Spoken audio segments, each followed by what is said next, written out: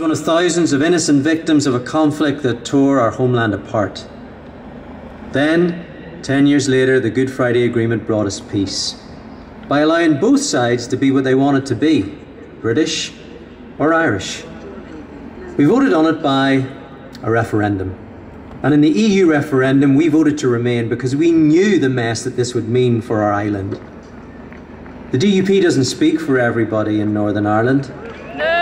We don't need an excuse to be divided. We've been down that road before. Yeah, they're ruling us. So, Mrs. May, if you're listening, we don't want a hard Brexit. We don't want a soft Brexit. We don't want Canada Plus. We don't want Northern Ireland Minus. We don't want Chequers. We don't want checkpoints. And we definitely don't want to take back control of our border. We happily gave that up 20 years ago in order to have peace. We want to live as friends and neighbours without people trying to drive us apart. It's called the European Union. You should give it a go, Mrs. May. But don't just take my word for it. From across the four corners of the UK, here's the next generation to tell you why the people's vote is so important.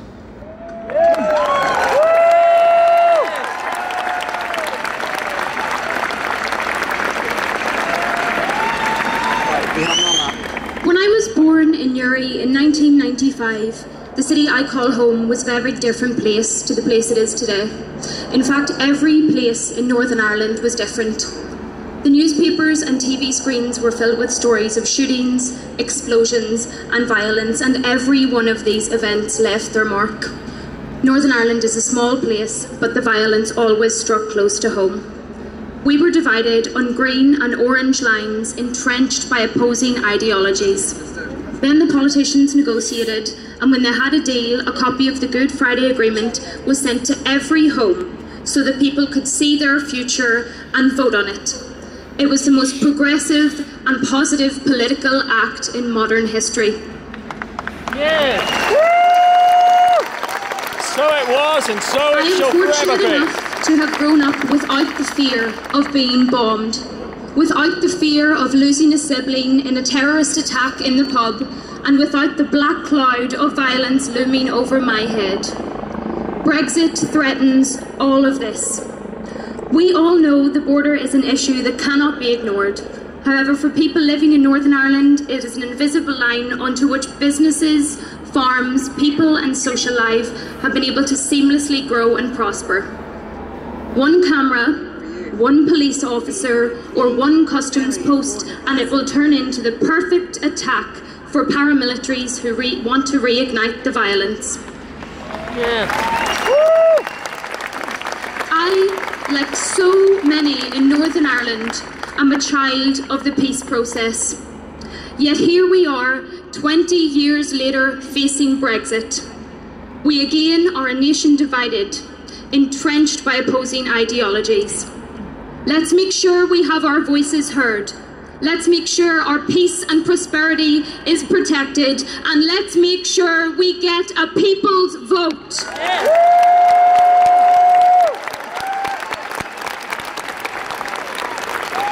Hello to all you Southerners, and thank you for having me on your stage today. I'm Alice. I'm from near Hull in the mighty Yorkshire. Woo!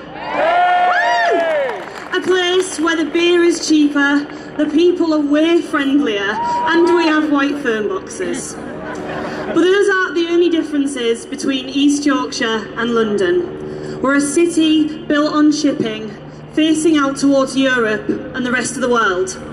It doesn't always feel like the world is looking back. We're a city that has education rates that are low, investment rates that are low, and employment rates that are low. And to be honest, often our optimism about the future is even lower. And that's why places like where I grew up voted leave. And because the Brexit elite promised us investment in our public services, promised us investment in our worldwide shipping trade, promised us the hope that comes with taking back control. And where are those promises today?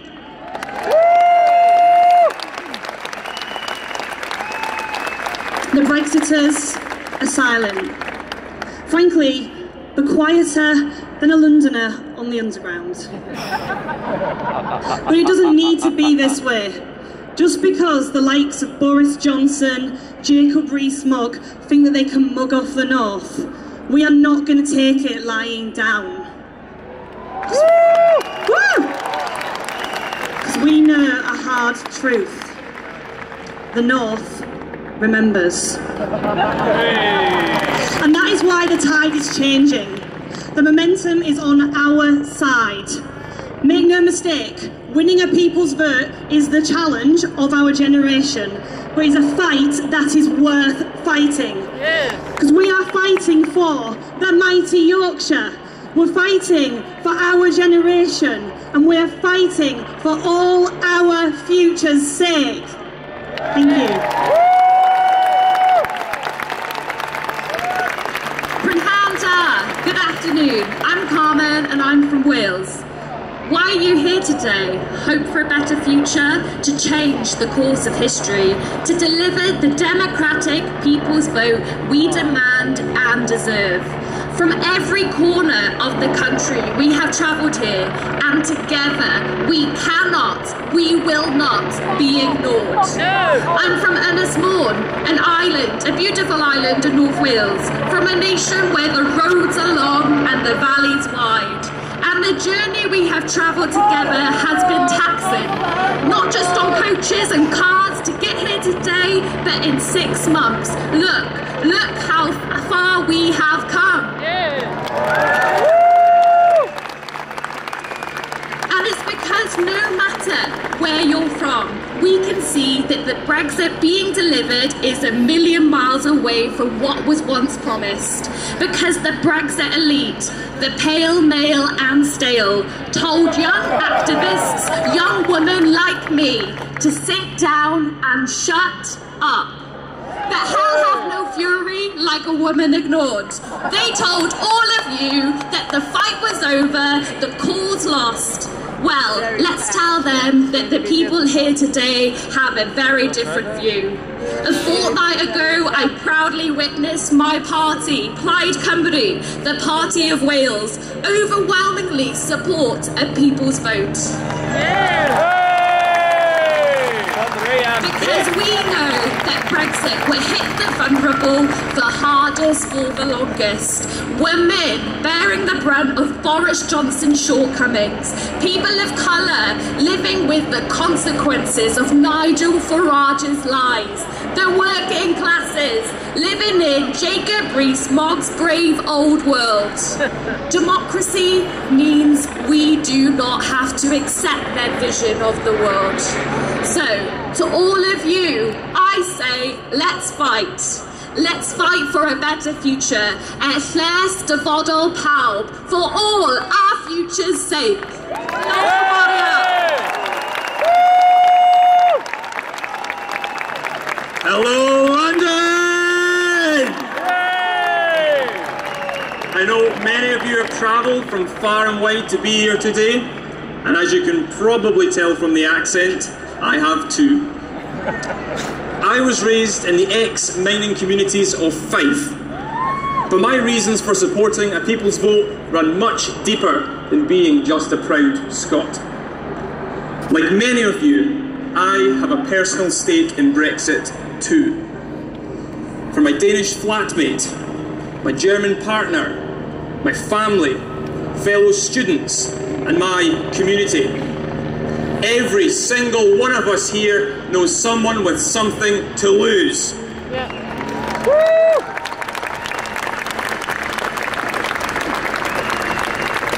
And it doesn't matter if you voted leave or remain or were part of the 1.4 million that didn't have a say at all. You matter, your voice matters.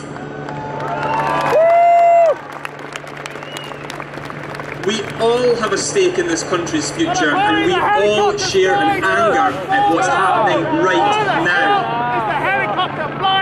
We all know the gap from the promises of two years ago to the reality of now is longer than the front to the back of this march.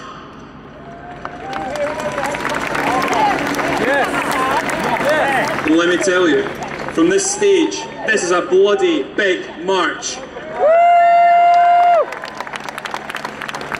570 days of negotiation and what to show for it? 28 months of pain. It's not good enough. So why does all this matter? The Brexit elite say it's time to get over it. Time to move on. Try telling that to Fife's factory workers whose jobs are now on the line. Try telling that to the NHS and all under its care who daily depend on EU staff.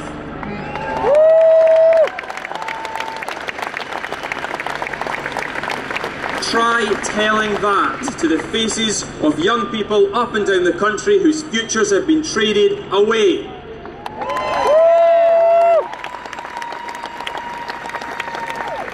Make no mistake, history is being written right here, right now. What will our children read about? You decide.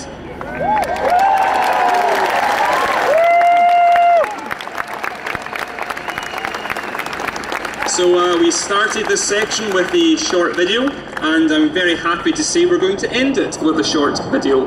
Please put your hands together and join me in giving a very warm welcome to Scotland's First Minister, Nicola Sturgeon.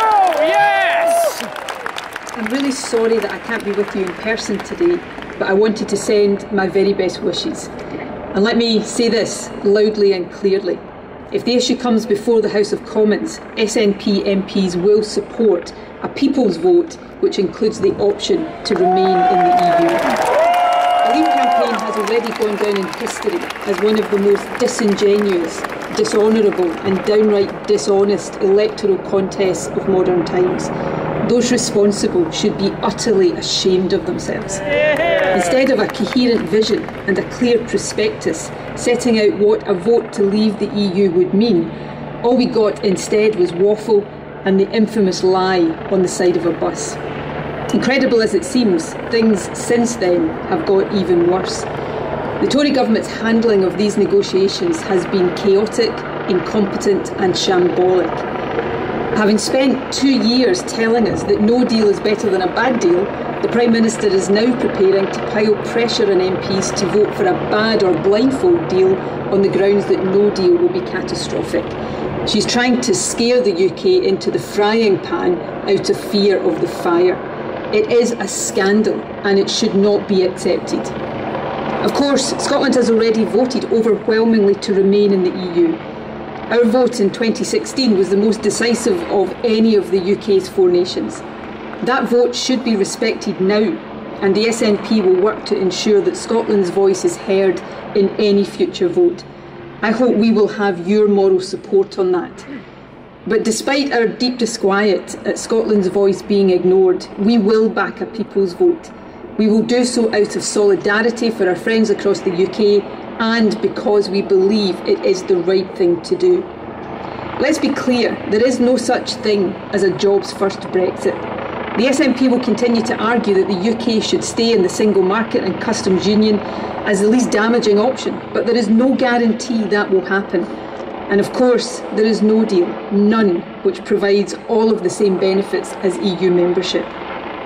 You just heard from four young people from all parts of the UK. Make no mistake, it is their future which is now at stake, and they deserve a much better, more hopeful future than this sorry Brexit mess.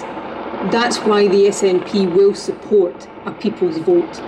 Please accept my best wishes and my solidarity for a successful day.